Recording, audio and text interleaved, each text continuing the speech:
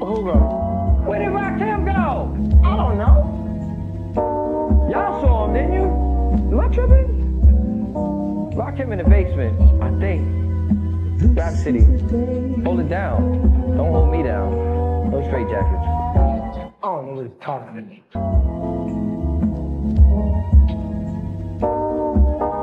Rap City, the basement, big tig. Rakim's here. Significance of the title of the album being The Master? well, the master is a uh, street, street proclaimed name that they've been giving me. You know what I mean? So um, we wanted we wanted to touch on that since people felt that way. You know what I mean? And